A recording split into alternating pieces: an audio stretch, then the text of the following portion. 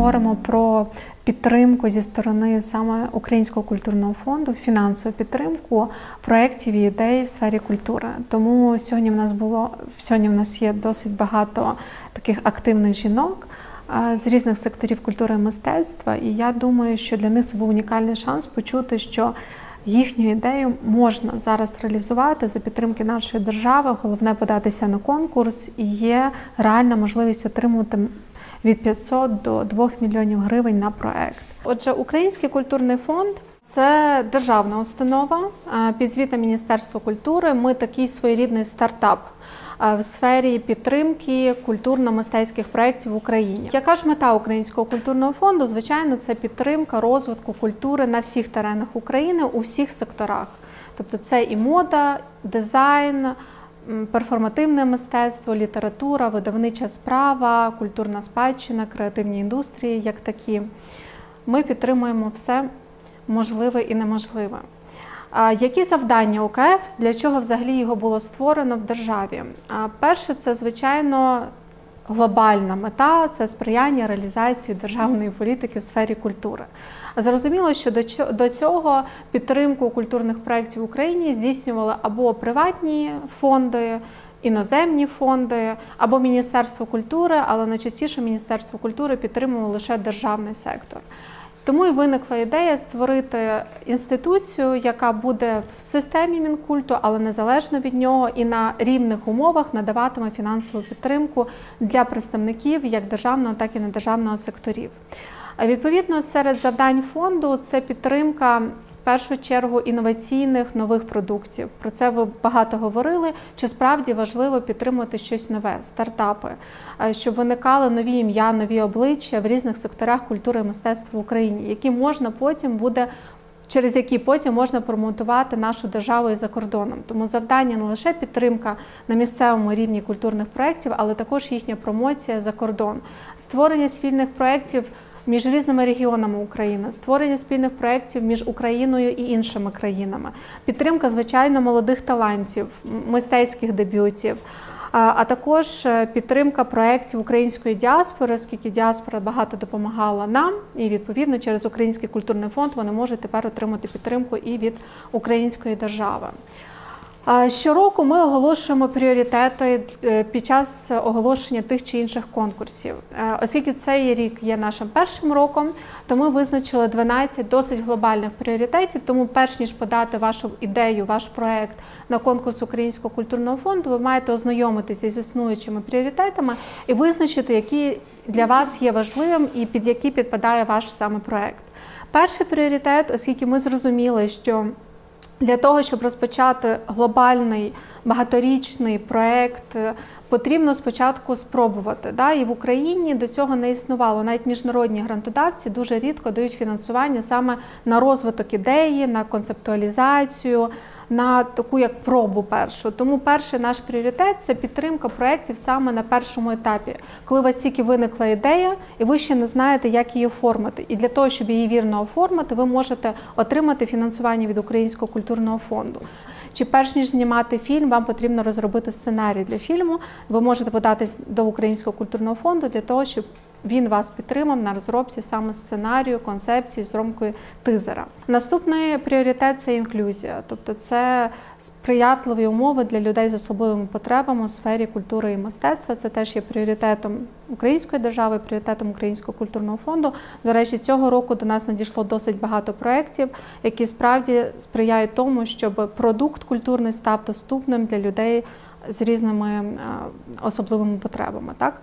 Е, зокрема, в кооперації з британськими радами ми хочемо наступного року зробити фестиваль, який проходить щороку в Лондоні. Це фестиваль Unlimited, саме для митців, які мають певні проблеми зі здоров'ям. Для того, щоб вони теж мали можливість представляти свої культурні продукти. Для того, щоб вони це могли представляти, потрібно, щоб театри, да, чи музеї, чи інші заклади культури створили для цього умови. Да, От якраз для створення таких умов ми можемо теж дати вам фінансову підтримку. Наступним пріоритетом є міжнародна співпраця, про що я вже говорила, тобто залучення міжнародних проєктів до фінансування. Тобто, якщо, наприклад, ви як організація чи як ФОП отримали фінансування від якогось міжнародного грантодавця USAID, тощо, ви можете подавати до нас на співфінансування, тому що дуже рідко дають 100%. Да? Відповідно, ви можете отримати 60% гранту від е, культурних мостів від Британської ради, і ще 40% або ще 50% отримати від Українського культурного фонду. Які взагалі є можливості, які є конкурси? У нас є три конкурси. Отже, перший це індивідуальні проекти. Тобто, по факту, ви кожен окремо можете подати свій власний проект, свою ідею і отримати фінансування в розмірі 100% від Українського культурного фонду. А для цього вам не потрібні партнери. Друге, якщо ви хочете зробити проект національної співпраці, Зокрема, цього року ми маємо такі проекти, наприклад, між Слав'янськом і Івано-Франківськом, між Слав'янськом і Косово, між Сєвєродонецьком і е, Львовом, які сприяють взаємодії між регіонами України в різних секторах: сектор культурної спадщини, перформативного мистецтва. Відповідно, тоді ви можете претендувати на фінансування 80% від нас, а 20% має бути співфінансування від двох партнерів. Ну і міжнародна співпраця це більше співфінансування, коли у вас є міжнародний грант 50 на 50. Там вам потрібен партнер за кордоном. І відповідно в рамках першого конкурсу у нас було обмеження по бюджету від 50 до 500 тисяч гривень на проект. Для проєктів національної співпраці від 500 тисяч гривень до 1,5 мільйона гривень на проект, і міжнародна співпраця від 500 тисяч до 2 мільйонів гривень на проект. Цього року, оскільки ми тільки запустилися, були досить такі щільні умови. Ми підтримуємо проекти фактично або на етапі фіналізації, або на етапі запуску протягом двох-двох з половиною місяців. Наступний рік ми будемо вже підтримувати річні проекти, тобто, по факту, ви зможете розпочати з відкриттям бюджетного фінансування, тобто з березня місяця, і реалізовувати проект до грудня. Як взагалі відбувається відбір проектних заявок? У вас є проект, ви його написали подали нам. Зараз ми поговоримо, як виглядає проектна заявка, які етапи. Відповідно, після того, як ви нам подаєте заявку, це до дедлайну.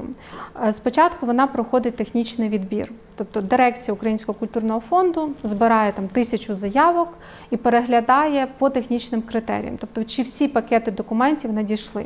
Наприклад, якщо ви надіслали одну проектну заявку, але забули бюджет, чи забули всі ваші статутні документи, це технічний критерій, по якому вас можуть відсіяти. Або ви подали заявку лише кошторис. Або як у нас цього року було, ви просто в нас є заявка, в нас є кошторис, але ви вирішили, навіщо нам це? Напишемо, ми давайте твір на вільну тему. І в нас були, що просто надсилали емейл, да, ми такі круті, в нас гарна буде толока, дайте нам 150 тисяч гривень, а ми вже самі розберемось, на що їх потратити. Да? Тобто це технічний критерій, по якому вас не відберуть. А якщо ви пройшли технічний критерій, тобто надіслали проєктну заявку, кошторис, пакет документів, про які ми поговоримо, ви йдете на оцінювання експертами, тобто попадаєте в ту експертну раду, сектор, який ви вказали в заявці. Якщо ви отримуєте 70 балів і вище, ви проходите на на, через конкурс і маєте можливість отримати фінансування УКФ. Але в нас є бюджет, виділений на рік. Відповідно, в нас є бюджет, в нас є рейтинг, і ми підбиваємо бюджет до рейтингу. І всі, хто хто набрав більше 70 балів, вони можуть претендувати на цей бюджет. Після цього, як ви пройшли оцінку експертів, вас запрошують на переговорну процедуру. Це згідно норм українського законодавства. Під час переговорів по факту ми ще раз проговорюємо це як підчинг проєктів. Да? Тобто ви приходите, вас ще раз питають, який результат ви хочете досягти, і в основному ми проходимо по статтях бюджету, тому що дуже часто у людей немає відчуття цифр. Да? Тобто, як ви складаєте бюджет, звідки ви берете цифри, ставтесь до цього дуже відповідально. Тому що потім ми бачимо, що, наприклад, хтось записує, що в Краматорську оренда приміщення коштує 300 тисяч гривень за день. Ну і логічно, що да, знаючи ринкові ціни, виникає питання, чи точно в Краматорську 300 тисяч е, гривень в день коштує оренда приміщення. Да? Якщо ви пройшли цей рівень, підписуємо з вами грантову угоду і починаєте реалізовувати проект. Да, В кінці звітуєте. Звітність у нас теж типова, фінансова і змістова. Ми проводимо тренінги з бухгалтерами, якщо у вас є бухгалтер або з вами особисто, як підготувати і вірно від, відзвітувати за державні кошти. Які критерії оцінки? Тобто, за що вас буде оцінювати експерт? Є ці 100 балів. Тобто перші 20 балів йдуть на актуальність проєкту, про що ви багато говорили з попереднім експертом. Для чого взагалі вам цей проєкт? І вам, і вашій цільовій аудиторії. Для кого він? Наскільки він актуальний для Краматорська? Наскільки він актуальний для вашої області? Наскільки він актуальний для України? Да? Тобто для цього ви маєте показати контекст, що ви ним володієте. Ви розумієте, що в вашому місті немає взагалі креативного хаба.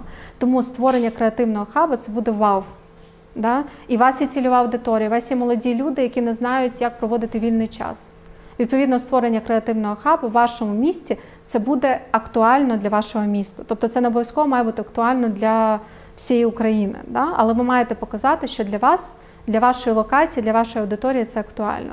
За це отримується 20 балів. 25 балів отримується взагалі за зміст проєкту. Тобто, як ви розписали мету, місію, про яку ви говорили вже, е, цільову аудиторію, результати, на які ви виходите. Тобто, щоб зразу зрозуміти, для чого робиться проєкт і що ми, як грантодавець, побачимо як результат. 20 балів іде на вашу інституційну фінансову спроможність. Тобто ми маємо розуміти, що у вас є команда. І що ви чітко розумієте, хто за що відповідає. Наступні 20 балів ви отримуєте за промоцію, про те, що вже багато говорилось, маркетинг. Досить важливо для нас теж, на кого орієнтований ваш проект. Як ви будете достукатись до вашої цільової аудиторії, роздавати брошурки, особисто запрошувати в організацію, тобто промоція і сталість досить важлива. Крім того, нам потрібно розуміти після закінчення фінансування, що далі буде з проектом. Те, що ви говорили, ми, тобто ми вас інвестували. Ви гроші витратили і далі що? Ви забули про ваш проект? Чи у вас вже є плани на майбутні 2-3 роки? Звичайно, це теж важливо. І 15 балів йде за бюджет. Це про те, що, з чого я починала. Всі статті мають бути обґрунтовані. Принципи оцінювання. Кожен експерт оцінює вашу заявку незалежно від інших, тобто немає порівняння щоб ви не переживали. Тобто вони не мають права порівнювати оця заявка краще, ця гірше, тому ці я ставлю. Так би я їм обом поставив по 5, але я їх порівнюю, да, тому одній ставлю 5, інші 4. Вони не порівнюють. Вони кожен проект оцінюють незалежно від інших, вони не мають права. Друге, це неопередженість. У нас цього року було заявлено більше 30 конфліктів інтересів. Тобто ми забороняємо експерту. У нас, наприклад, є експерти там Сєвєродонецька. Да, і зрозуміло, коли був проект Сєвєродонецька, вони самоусувались, тому що вони знали виконавців. Да? Тобто, якщо ти знаєш виконавця, ти не можеш бути неопередженим, ти пишеш заяву на самовідвід саме по цьому проекту. Тому у нас досить багато самовідводів, але це сприяло тому, що заявки не оцінювались упередженими людьми. Значить, перший конкурс, хто може взяти участь, те, що питання вже звучало. Да? Тобто на всі три конкурси це мають бути юридичні особи будь-якої форми власності, об'єднані територіальні громади, органи місцевого самоврядування і ФОПи. З чого почати? Це вже я думаю, ці слайди ми можемо пропустити, тому що вже достатньо проговорили мої попередні колеги. Да, Я думаю, Ірина досить гарно потім розкаже взагалі, з чого починати проектну ідею, які етапи вона проходить. От тому, що по факту, да, саме важливе це партнери. Це на що я наголошую, тому що вам потрібен пуфер. Ви не отримуєте 100% фінансування зразу. Ви його отримуєте частинами. Партнери дуже важливо. Інформаційні потоки, тобто вам потрібно створити позитивне інфополе про ваш проект. Про нього мають чути. Чим більше про нього чують, тим краще, чим більша ваша цільова аудиторія, думаю, теж Ірина гарно розповість про їхній проект. Да? Тобто, тим краще вам буде потім для сталості. Щоб коли завершилось фінансування, про вас вже знали. Для цього ми вас і підтримуємо, да? щоб допомогти вам завдяки нашому інформаційному ресурсу поширити інформацію не тільки на рівні Краматорська, а на рівні України да, тому що ми інформаційно підтримуємо всі проекти, які до нас подалися. І потім ви вже з цим інфопосилом можете йти до спонсорів і говорити: ось дивіться, нас підтримала держава, ми вже запустилися. Нам треба ще тільки гроші там на АБЦД. Да? Вам буде легше тоді притягувати фінансування ваші проектні ідеї. Розробка проекту, звичайно, побажання розробляти структуру, так звану логіку структурну матрицю проекту, щоб ви розуміли місію завдання, цілі, цільову аудиторію, результати, сталість і постійно тримайте, повіжте собі на стіну, вам буде так легше потім фіналізувати і заповнювати всі пакети документів. Так само роздрукуйте список документів, які ви маєте готувати, щоб нічого не забути. Бо нам було цього року досить боляче відкидувати деякі проекти, які надіслали проектну заявку і бюджет. І забули просто всі юридичні документи. Хоча проектна заявка була хороша, бюджет хороший але по факту технічні критерії не пройшли. Що складається взагалі проектна заявка? Що вам тут потрібно прописувати? Да? Це сім сторінок тексту.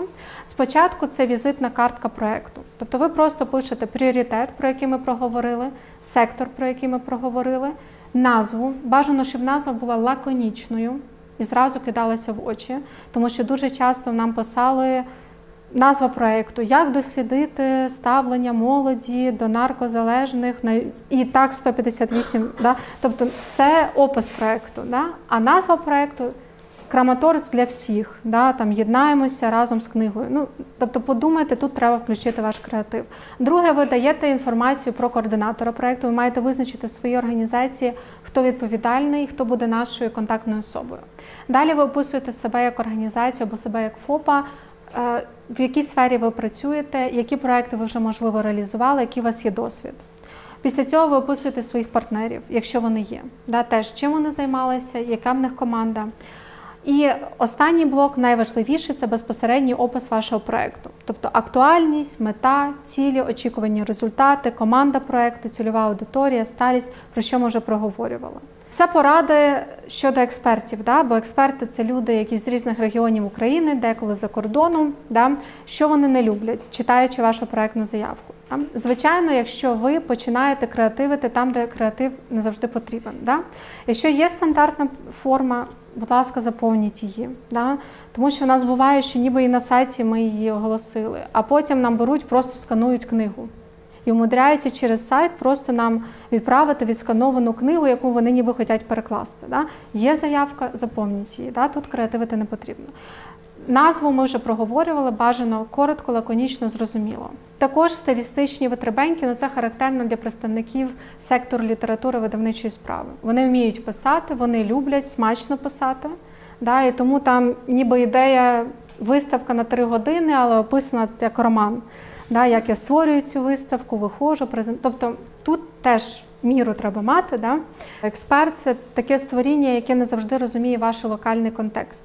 Да? Тому тут якраз про Краматорськ можна розповісти, про особливості вашого регіону, вашого міста, да? тобто локальний контекст, про що ми говорили до цього. Не вода загальна, а локальна. Також бажано, щоб інформація про вас. Ми живемо в епоху інтернету, була присутня в соціальних мережах. Якщо у вас є сторінка чудово. Ну і за що вас полюблять, за те, що я говорила. Логіка, структура, коротка влучна назва, класна ідея, зрозуміло, без цього ніяк. Ну і проектне мислення. Да? Тобто, справді тут важливо, щоб коли читають вашу заявку, розуміли, що ви в темі.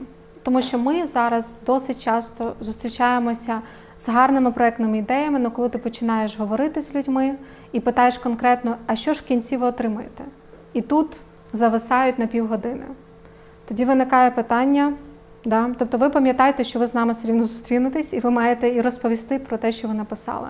І завжди пам'ятайте, для чого це мені, для чого це мої цільові аудиторії, що ви могли давати відповіді на такі питання. Ну і фінальна порада це те, що радять багато проєктних менеджерів. Перед тим, як відправляти заявку, дайте її почитати дитині, підлітку.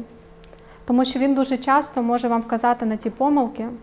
Якщо поруч немає підлітка, дайте дружині, чоловіку, колезі, тому що ви можете варитися в цьому два місяці і не помітити явних речей. А коли ви даєте комусь свіжим оком, просто гля... навіть не в темі це може бути людина, і бажано, щоб вона не була з вашого сектору, тоді ви зможете отримати гарний фідбек. І друга порада: знайдіть собі сили, заповнити заявку раніше, ніж до дедлайна, і дати собі ще 3-4 дні на роздуми і потім сісти і прочитати через 3-4 дні, так ніби це не ваша заявка. Да? Відсторонитися і оцінити себе критично. Якщо ви самі себе оціните на високий бал, шанси у вас великі. Якщо у вас виникають сумніви, да, тобто не читайте себе, о Боже, яка крута ідея, о, я її точно підтримую. Це треба думати, да, але треба якийсь етап, коли ви маєте бути самокритичними. Це допоможе.